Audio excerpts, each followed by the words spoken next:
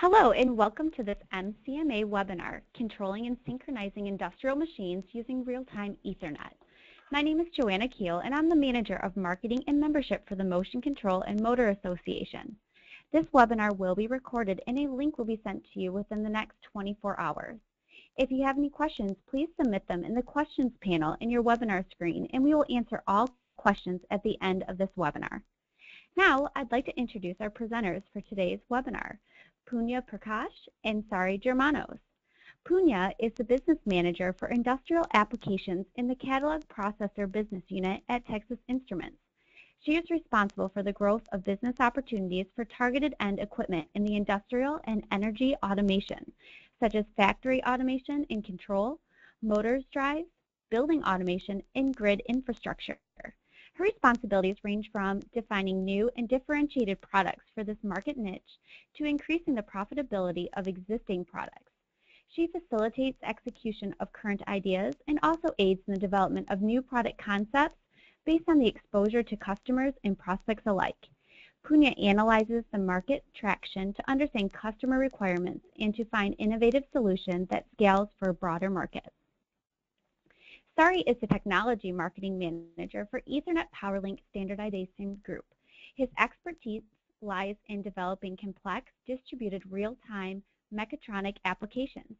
He also has significant experience in applying simulation technologies to improve the efficiency of developing large-scale distributed systems. I'd also like to thank our exclusive sponsor of today's webinar, B&R Industrial Automation. As a global leader in industrial automation, B&R combines state-of-the-art technology with advanced engineering to provide customers in various industries with complete solutions for machine automation, motion control, HMI, and integrated safety technology. With industrial field bus communication standards like PowerLink and Open Safety, as well as the powerful Automation Studio software development environment, B&R is constantly redefining the future of automation engineering. Now, I'd like to hand it over to Sari to begin today's presentation. Thank you very much, Joanna. So we're going to start uh, the presentation today by talking about uh, Ethernet concepts, uh, how to use Ethernet for control and automation, and we'll talk about some basic requirements for uh, how to implement a real-time network, and we'll talk about how these real-time uh, requirements are implemented using an open source standard Ethernet PowerLink. We will then talk about use cases and some of the market adoption. What does the market look like today? And then uh, Texas Instruments, uh, mainly Punya, will talk about how this technology is actually implemented in the uh, Sitara platform, um, and she will uh, go through a lot of detail there. So this is an example of an ideal automation machine. This machine represents the architecture of a vision-based pick-and-place application. The subsystems include a central controller or PLC, an HMI, a vision camera, uh, robot arms, pneumatics, a rotary encoder, uh, and a safety controller. In this example, all the components are connected through one network, and this network is based on standard Ethernet. So why do we use Ethernet? So Ethernet has been around for a while, since 1972. It's available on all microprocessors uh, we know of today, um, and it's been the main tool used for productivity in office applications. The main issue with C with the Ethernet when it comes to automation is that it's based on the CSMA CD protocol. So the idea there is that any two components on the network can talk at the same time, uh, or whenever they want, they can speak out of turn. And uh, when two components speak at the same time, you get a collision. When you get a collision, you have to back off and retransmit. And this keeps going until each node has sent its own packet the greater the number of nodes, the higher the probability of collision, and so you end up with a lot of indeterminism. To solve this problem today, people have introduced the concept of switches, where a switch guarantees a connection between two nodes on the network that needs to uh, that need to communicate, and then those two nodes can communicate with zero or minimal collisions. Now, when it comes to automation, you have a lot of components that need to speak to each other. Uh, it's very hard to use an off-the-shelf switch because you'll end up with queuing, and if you, use, you end up with queuing, you're back to having determinism. Um, so to avoid this non-deterministic behavior, people use managed switches, where the switch has to be configured specifically for the application in use. And these switches tend to be expensive and uh, hard to commission and maintain. So uh, the, in the ideal world, we would try to avoid using a switch because that minimizes switch delays and it makes our, uh, our system much uh, simpler. So what are the ideal network requirements around having a real network for automation?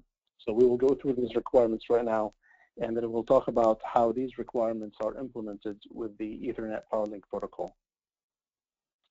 So the first requirement is having real-time performance and high efficiency. Of course, you expect that when you're trying to run a machine. You need to have a large asynchronous bandwidth. Uh, the reason for that is uh, components today uh, have to be upgraded in the field, and so you need to be able to download uh, a software upgrade to the, or a firmware upgrade to the component. Uh, that uses a lot of bandwidth. In addition, you also have imaging components on the network today, so you could have a video camera or a vision camera, and uh, that requires some bandwidth as well. You'd like to have one network for all automation. The big deal here is having slow components and fast components on the same network and having and being able to deal with both of these at the same time. Having a flexible network topology is important. Hot pluggable uh, you need to be able to replace a component if it dies without having to reboot the machine. You'd like to have high availability because on the manufacturing floor, if you if your machine is down or if your network's down, you're going to lose productivity, and that's not a good thing. Uh, being immune to electrostatic noise is really important, and so that's one of the requirements we'll address. And lastly, we'll talk about commissioning, maintenance, and diagnostics, and how that can be made easier using a network. So let's take a look at the first two requirements, having a large, uh, uh, having real-time performance and having a large asynchronous bandwidth. So I'm going to talk about the PowerLink protocol first. So the PowerLink protocol is an Ethernet-based protocol. It is designed to eliminate collisions on the network. And it's based on the concept of having one component on the network that we call the network master or managing node and then everything else on the network is considered to be a control node. In order to eliminate collisions without the use of a switch, we need to make sure that no component ever speaks out of sequence. So a control node will sit on the network quietly and wait until it's told to communicate. When it communicates, uh, that's when the master tells it to communicate, that's when it communicates, and that's when it puts out one frame per node per cycle. So what is a cycle? So the cycle time is considered to be the time taken for every component on the network to put out a frame.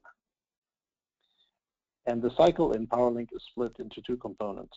During the first phase of the cycle, we call it the synchronous phase, that's when the real-time communication happens.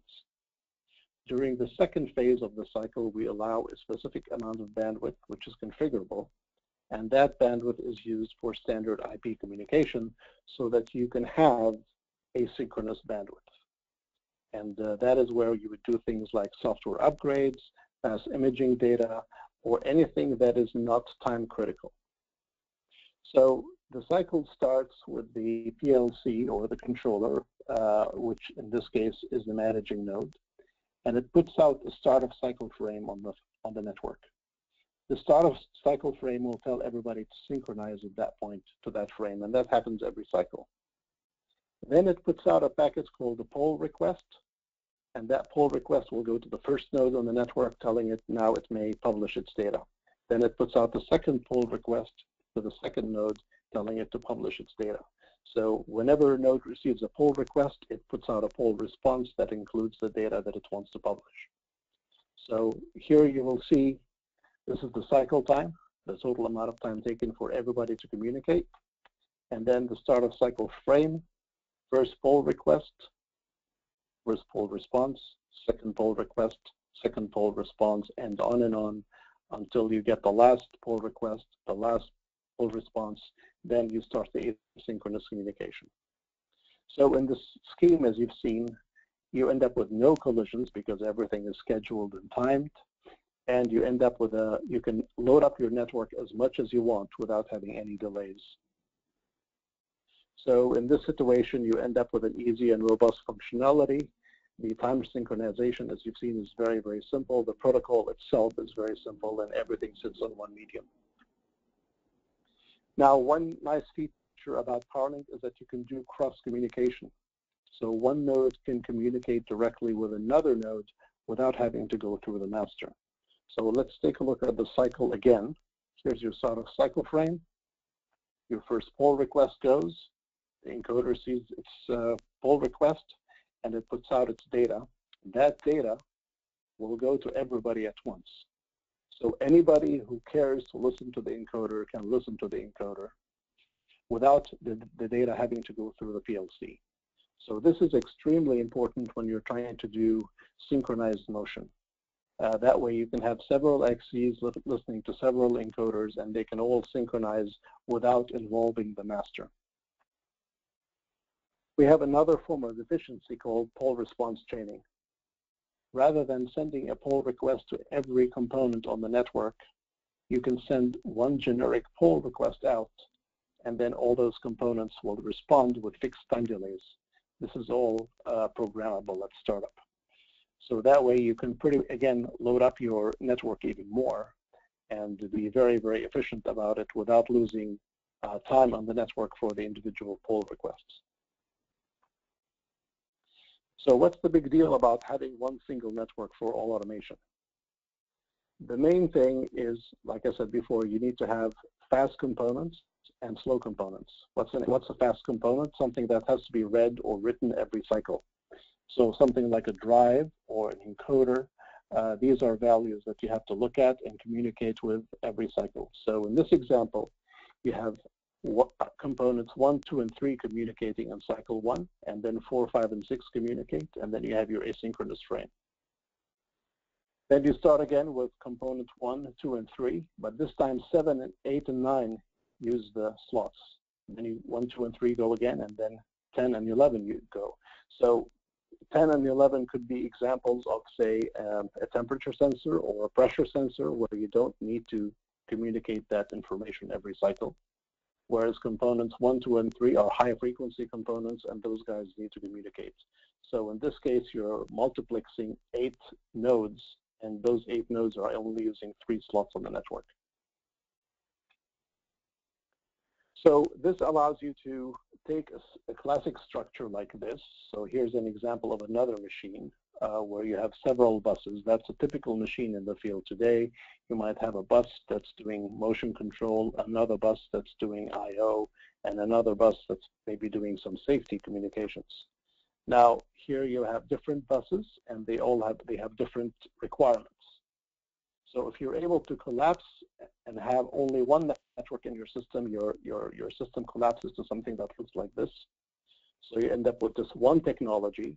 You don't have to uh, debug many buses on the network. You don't have to commission many buses on the network. It's much easier to synchronize the timing between components on the network. And then you end up with a system that's very, very easy to diagnose and maintain. So uh, let's take a look at hot pluggability and uh, high availability.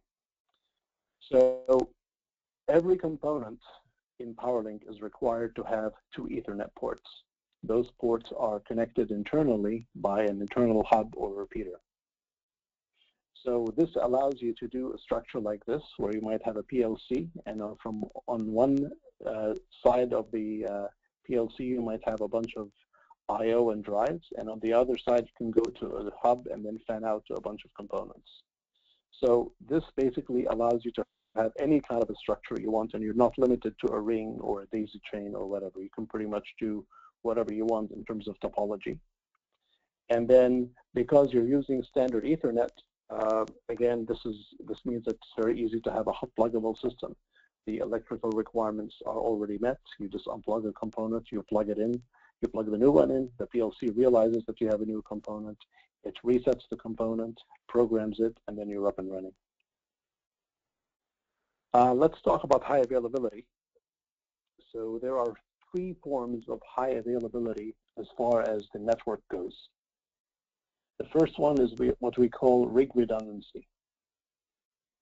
Now, if you take a main controller like this and you connect it to a bunch of components that are daisy chained, and then you take the last component in the daisy chain and you connect it back to the main controller, you formed a ring. Now, what is special about this ring is that when the controller puts out a poll request, it listens to it on the other side. If the poll request doesn't come back, then the controller knows that there's probably a broken cable somewhere in which case it starts to communicate on both sides.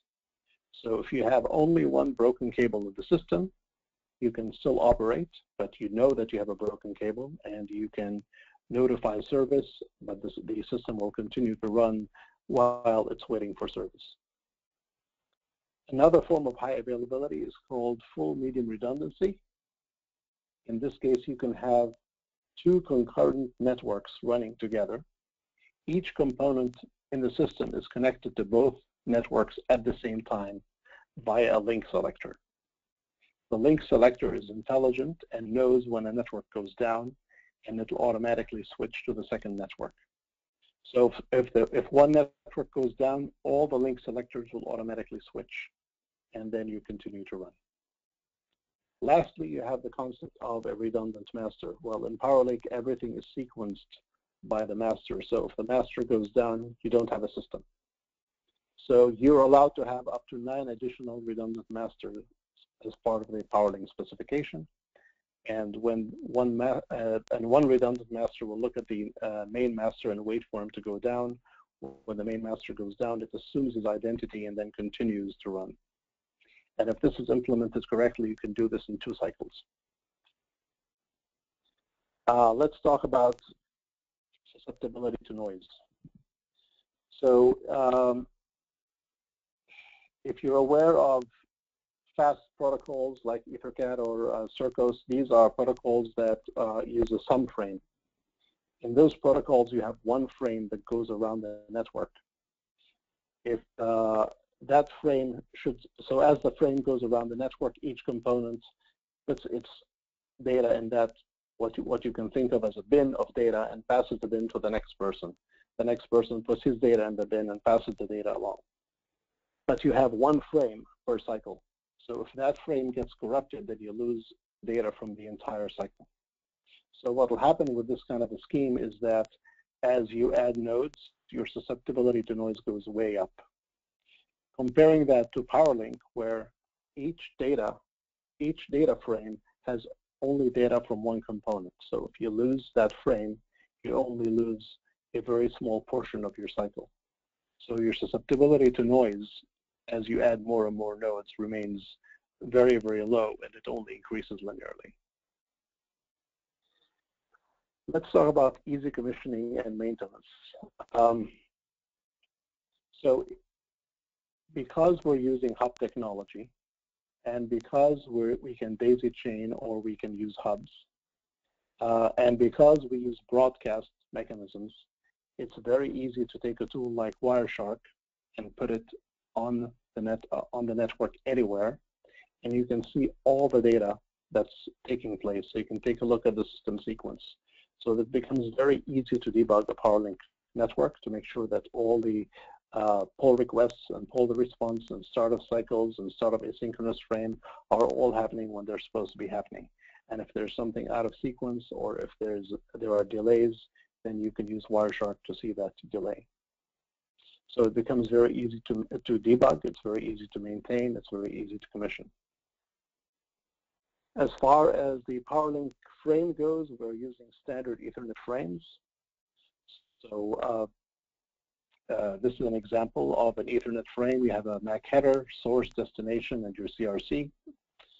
Uh, the Ethernet payload there is what contains the PowerLink payload. So the PowerLink frame sits completely within the Ethernet payload.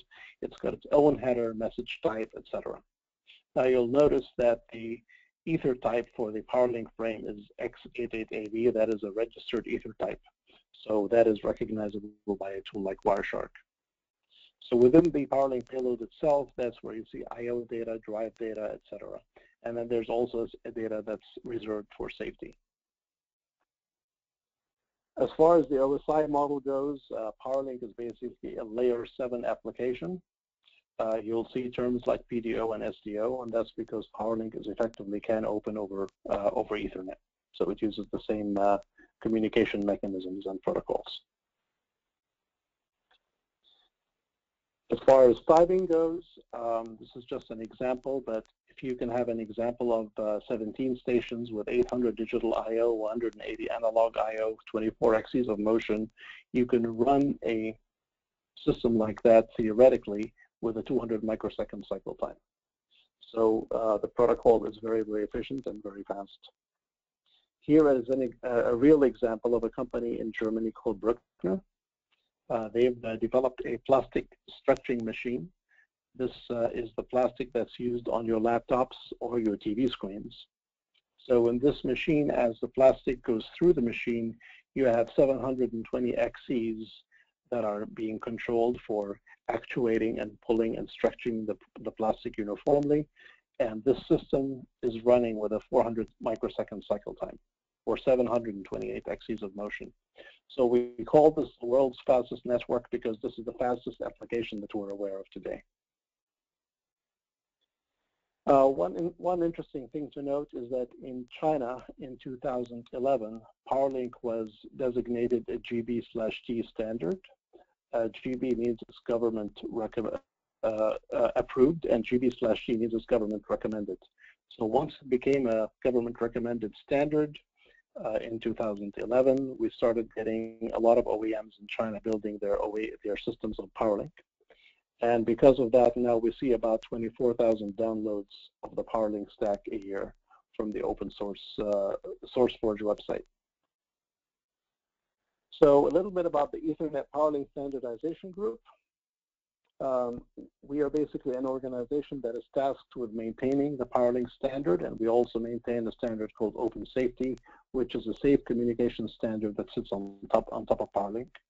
Uh, Open Safety itself is uh, certified, uh, SIL3 uh, compliant, um, and 61508 uh, meets 61508 standards as well.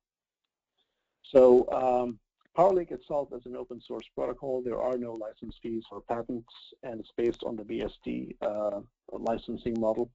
And you can get onto ethernetpowerlink.org and download the spec, or you can go to the SourceForge website for PowerLink. You can just Google SourceForge and PowerLink, and you'll find the website, and you can download the source code.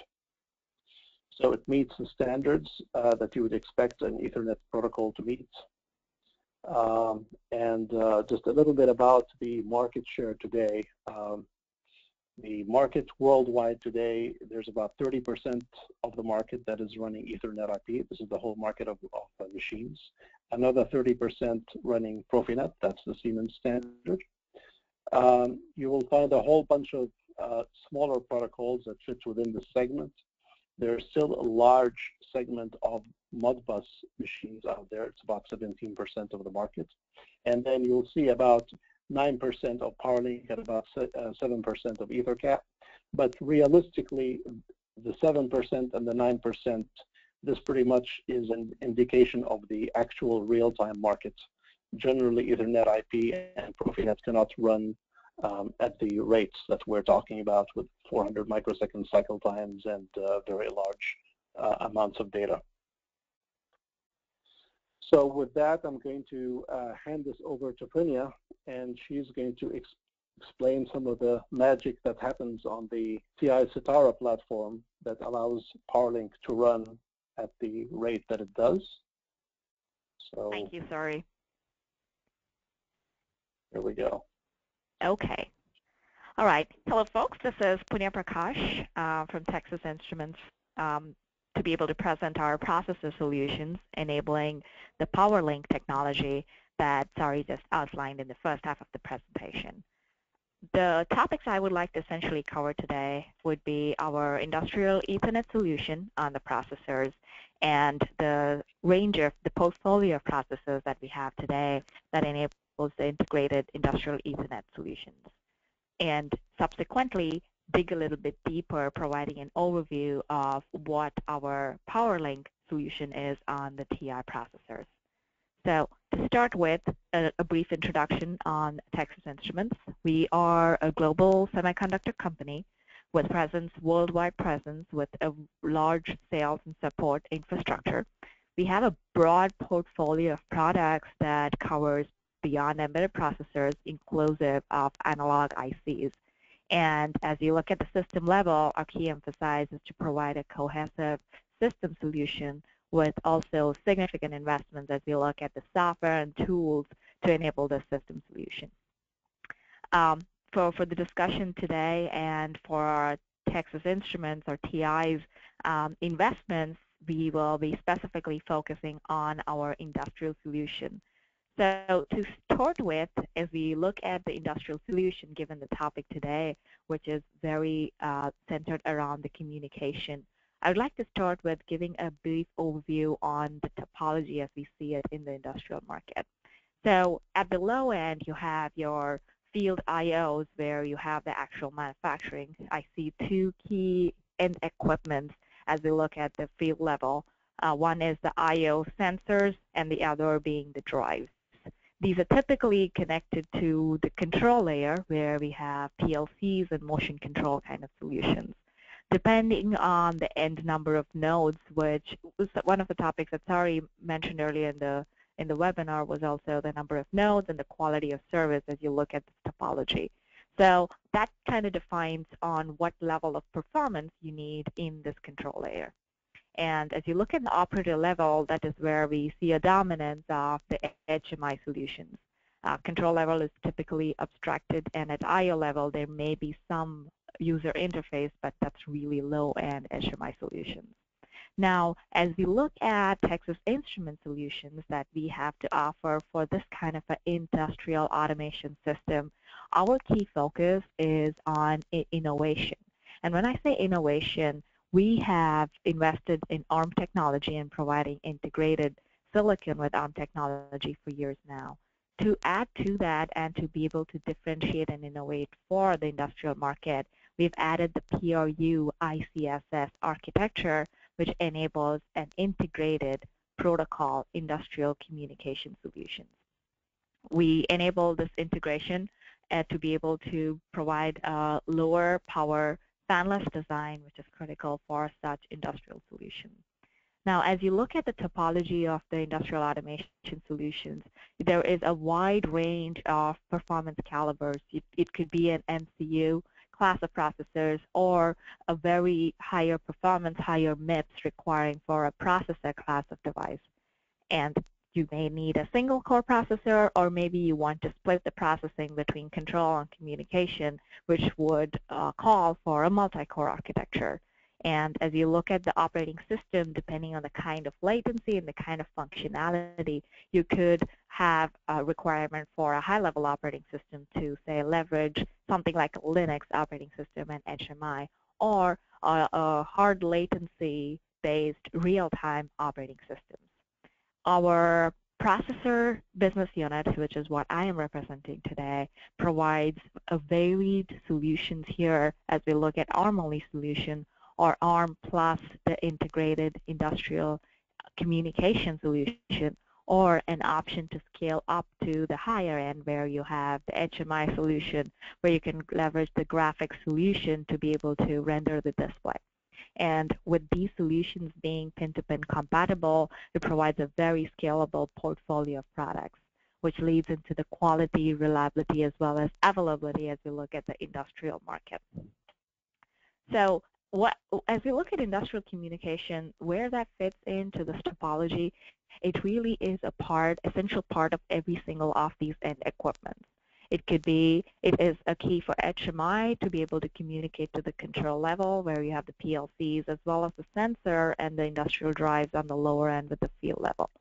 And as we look at each of these end equipment, it is critical to have industrial communication to be able to connect these at lower latency and provide a very deterministic, reliable communication.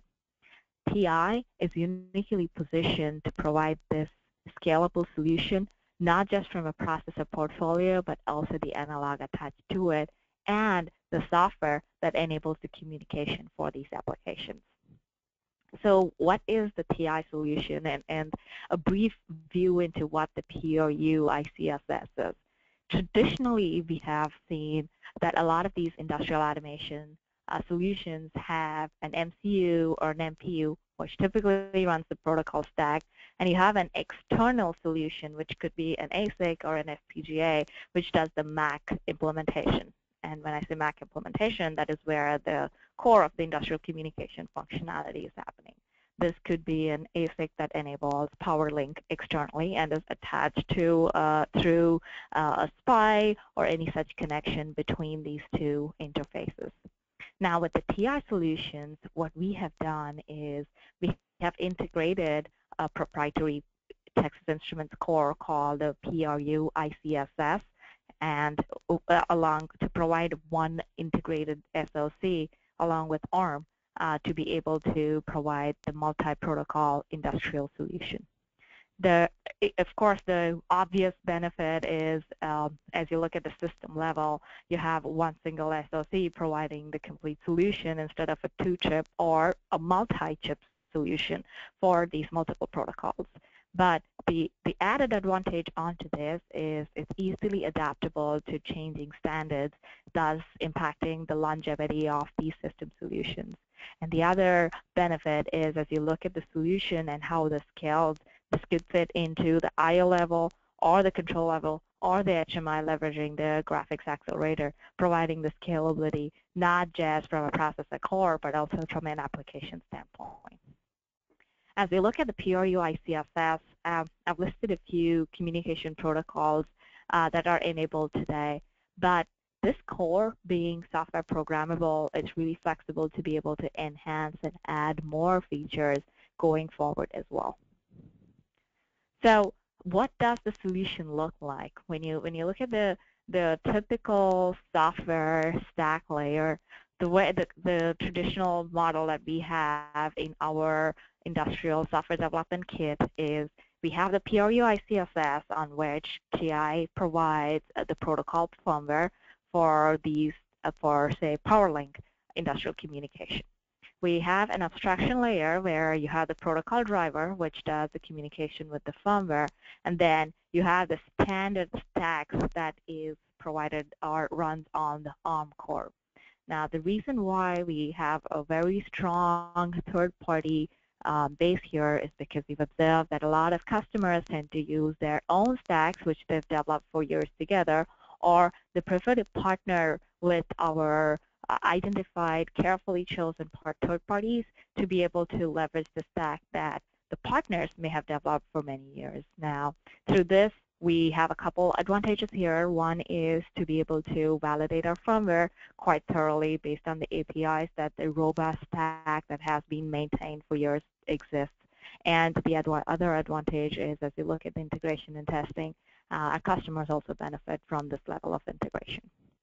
And on top of this, typically have what we could define as the layer 7, where you have your own application layer, which leverages this deterministic, say, power PowerLink communication on your end equipment, be it HMI, PLC, or others. So looking at the ICSS, um, you have a 32-bit interconnect, and, and one key feature that I would like to highlight here is the integrated industrial Ethernet with the real-time MII port. Now, the, to make this highly differentiated asset in industrial, we've added the specific hardware to get maximum performance and flexibility out of this subsystem. With real-time error and link detection, additional register banks for real-time task switching, both of these are connected through a 1000-bit wide broadside interface. Now, beyond industrial Ethernet, we of course we have um, industrial field bus enablement also through this PRU-ICSS.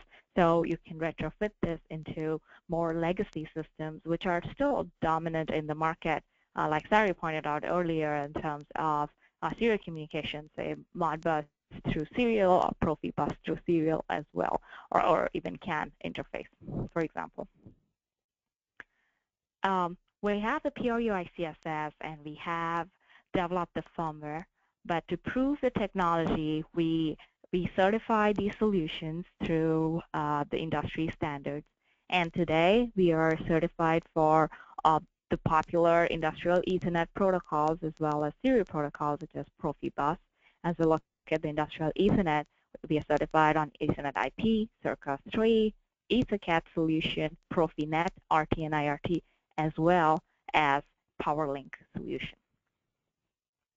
So looking at our portfolio a little bit deeper now, so we have the PRU-ICSS. What in our portfolio integrates this uh, communication multi-protocol solution on our silicon?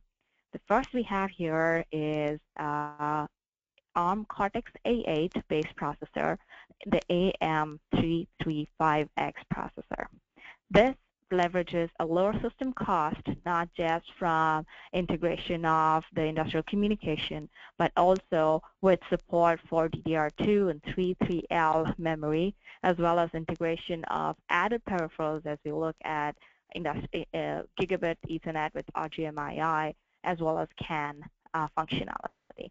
And again, our emphasis is to provide a system solution, which is why we offer low-cost development boards as well as the software to reduce the time to market or the development cycle as we look at enablement of these solutions. So looking a little bit deeper into what the Cortex-A8 based AM335X processor has, uh, it, the Cortex-A8 processor has a range of solutions which goes up to 1 gigahertz and like I mentioned, it does come with an option to have a graphics accelerator to be able to render a display if you need to use this for an HMI-based solution. This is the PRU ICSS solution, which enables industrial communication, which could be multi-protocol, industrial Ethernet, or serial solution. Security continues to be uh, very highly discussed solution as we look at these automation solutions as more and more elements and nodes get connected. Uh, we definitely have an emphasis on this, and we have hardware accelerators as we look at these uh, security solutions. Um, as we look at the connectivity and IOs, we have the RGMII 2 port with switch, as well as USB support, and our standard IOs, which we have carefully chosen based on the market request, especially as we look at the industrial automated market. When we look at this, the range of products that we have on the AM335X, we provide a very scalable platform which, uh, which we have six pin-to-pin -pin compatible devices where you have a range of uh, uh frequencies which, which start from 300 megahertz and go up to 1 gigahertz. We have options with the graphics as well as the, our dual-core PRU processor, which enables our protocols. We even have uh, different packaging options depending on your system needs to be able to provide the solution.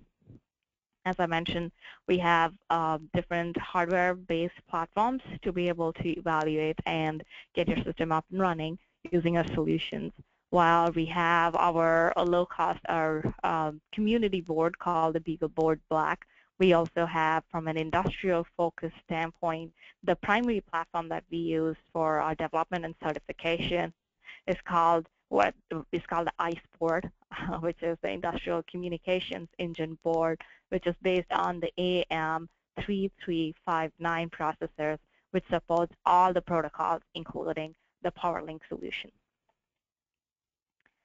Um, so as we as we look at the AM335X industrial communication engine, we have focused the solution to emphasize on the 3359 with multiple protocols and have two Ethernet ports from the PRU ICSS or from the two-port gigabit Ethernet switch. These ports are MUX, so you'll be able to leverage either or of the solution depending on your system solution. This is the platform that was used to certify the multiple industrial Ethernet protocols and is our primary driving platform for our certification resources. Okay, so next we're going to look at the AM437X processor, which is based on the Cortex-A9. This processor, while it has the features that we just saw on the AM335X with the Cortex-A8 processor, it adds another PRU ICSS core. And with this, one instance of the PRU ICSS has two integrated 200 megahertz cores inside that. Now, this second core is, is primarily added to focus more on the industrial drives market. Now what that means is while you have one PRU ICSS core to do your industrial communication, we've added another instance of the PRU ICSS core to do the motor control. Here you can integrate your master feedback protocols on the second core to be able to connect and control to standard motor control feedback algorithms such as EnDat or BiSS or Hiperface DSL.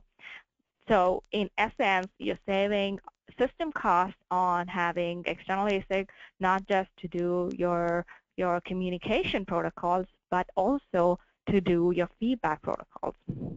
In addition to that, we've integrated a nine-channel sinc-3 filter to be able to accommodate for current sensing, as well as an on-chip SAR ADC, uh, which is a 12-bit ADC, to be able to use that as required to be able to do current sensing as well. So what does the next-gen PRU ICSS in the AM437X bring?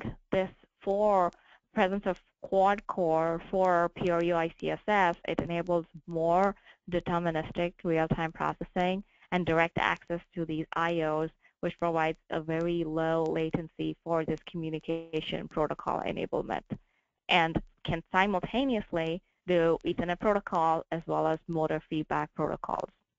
We have uh, continued to develop and accelerate the hardware CRC module to verify the Ethernet payload uh, verification. And again, the integrated sinc-3 filter enables current sensing to be integrated to do precise sampling of, say, a three-phase current input at up to 20 megahertz. Looking a little bit deeper into the AM437X processor, you have the ARM Cortex-A9, which again runs up to 1 gigahertz. You, we continue to have the graphics accelerator to maintain the scalability as we look at the HMI market. And we've added the quad-core PRU ICSS to do communication as well as motor control. We've continued the emphasis on security and maintain the peripheral chipset here as we look at more IOs to be able to uh, connect to more nodes. What you'll notice here is that we've enhanced the number of PWMs we have here uh, specifically because this is targeted for uh, the industrial drives market. The, SKU of processors that we have here, it ranges from AM437X to 4379, where we have the range of processing power from 300 megahertz up to 1 gigahertz. And all the processor variants comes with the quad-core PRU ICSS enabled, but depending on which variant you pick, you would get either the standard or all protocols enabled.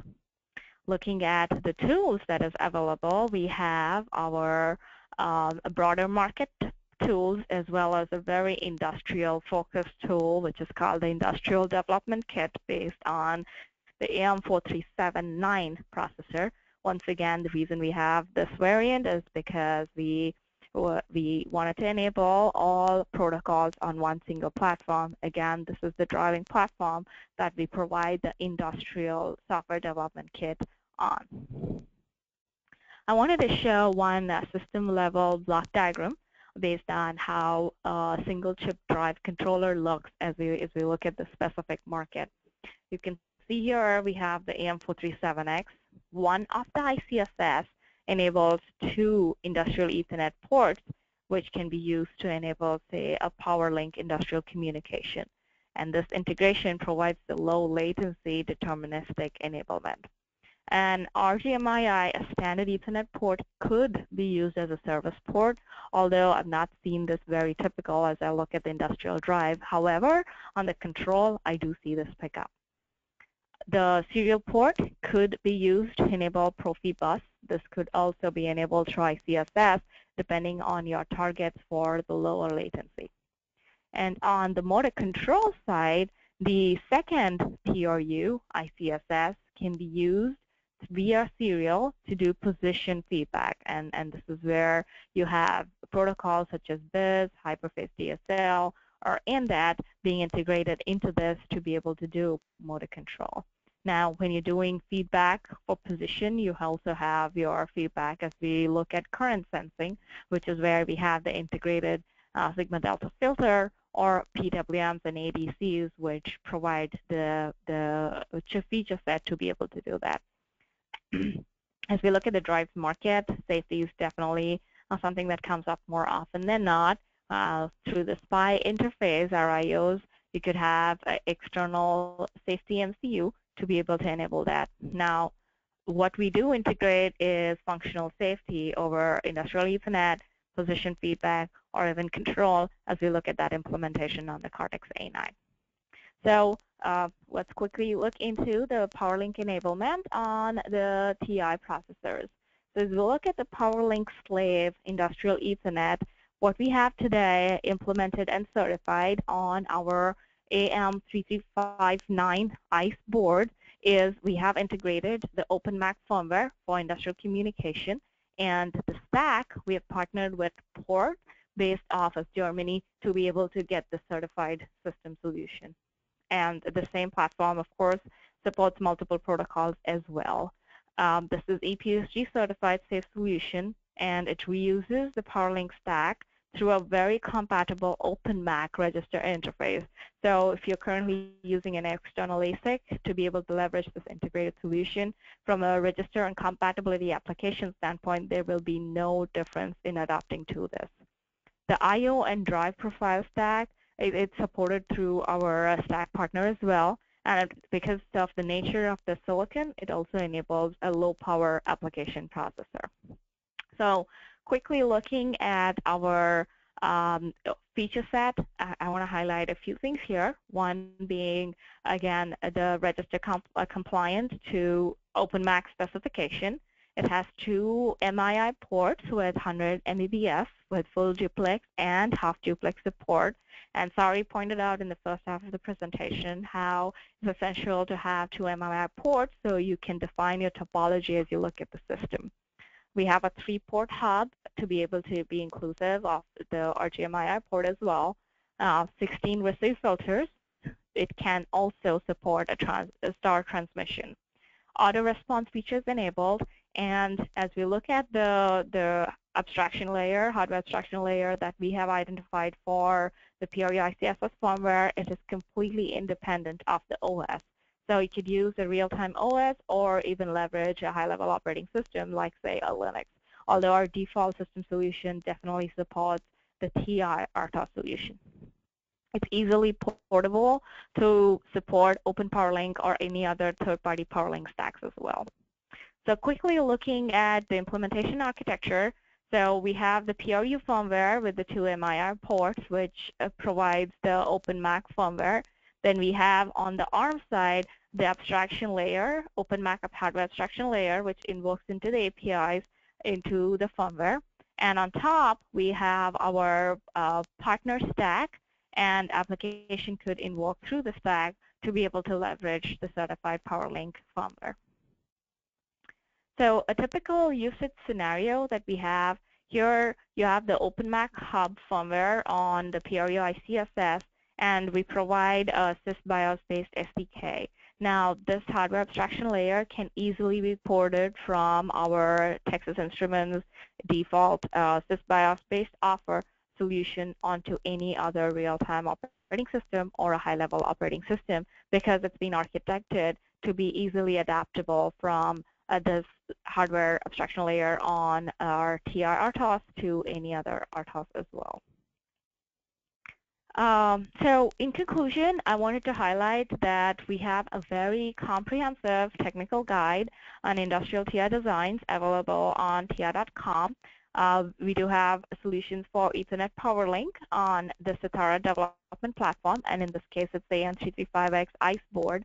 And we have a more uh, system-level solution as you look at the single-chip drive, which can do both motor control and communication, as an example we do have pretty comprehensive solutions beyond these as we look at our multi-protocol solutions as well. Okay. Um, thank you for your time today. Yeah, thank you, Punyan. Sorry. Um, we did want to go ahead and turn it over for some questions to any of the participants. Um, if you'd like to use the chat panel, the Q&A panel on your webinar to ask a few questions, I'd be happy to turn that over. Um, I'll give you a second to go ahead and do so.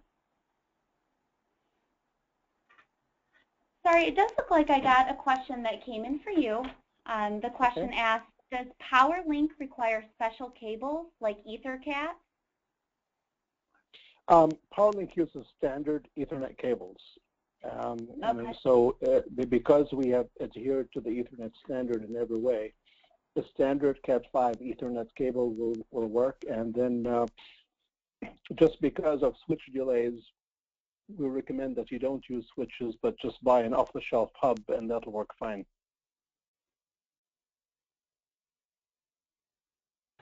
Great. Looks like the next question we got in for you, Sari, was what is the advantage of using an open source protocol? So when you're using an open source protocol, you don't have to sign any terms and conditions with anybody. You basically, when you download the code, you own it. Um, of course, it has the advantage of that we, we've already certified the code, but if you decide to make modifications to the code, you don't have to submit it back to the open source domain. The code is yours. You, you download it, you own it, you do whatever you want with it. Great. Punya, we got a question that came in for you. Um, what is the PowerLink cycle time on the Sitara processors? So the, the PowerLink cycle time, because of the deterministic nature of the PRU ICSS and the way it is architected, um, our system solution that we have certified today on the AM335X processor can do cycle times as low as 200 microseconds. Uh, Sari showed an example of a system solution where you had the plastic use case where you were able to stretch plastic. I think that scenario had 400 microseconds, right, Sari? So on our processor, right. we can go as low as 200 microseconds. Great. The next question we, we got for you, Punya, is uh, what conformance test version was this solution certified on? The Sitara PowerLink solution was certified on the conformance test version 1.1.0. Um, if you visit the, the TI design, which is the TI DEP 0028, we have more details on the conformance test itself, as well as a copy of the certificate that we got due to meeting this compliance requirements, as well as a detailed test report and benchmarking of the system solution. Great. Sari, it looks like the next question goes over to you. Um, why is node-to-node -node communication important? Um, primarily node-to-node -node communication. This is something that's unique to PowerLink as an industrial standard, but it basically allows you to do uh, synchronization across a network very, very easily. Uh, the minute a component puts out a frame, everyone sees that frame at the same time and can synchronize to that frame. So you can have several axes of motion running and they can all be synchronized without having to have a mechanical synchronization shaft uh, and gearboxes connecting your system together. So it saves a lot of uh, time and money. Thank you. Um, Punya, to, to switch it back over to you, um, this question is, does the Sitara processor PowerLink solution support basic Ethernet mode? Yes, um, the, and, and this support is very dependent on which stack is used. Um, the stack that we use to be able to certify our PowerLink solution came from our partner port, and that uh, the, The stack does enable basic Ethernet mode as well as multiplexing. And in addition to that, there it can it enables two external Ethernet ports and an internal hub, as well as an asynchronous MTU size of 300 to 1500 bytes. Great, thank you. Well, it looks like we're getting close to our time, the one hour. Uh, if you did post a question, we haven't gotten to anything, um, we will go ahead.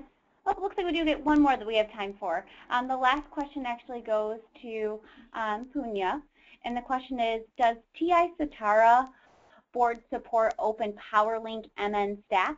If not, is it planned to support or not? So like I, like I mentioned, we typically partner um, with, say, one partner to be able to validate our firmware stack. Now, we have observed an increased interest in the open PowerLink stack. Uh, so we are working through the details. So yes, going forward, we have plans to add support to Open PowerLink on our Sitara processor. Um, at the timeline, it's still being defined, but it's definitely coming in future.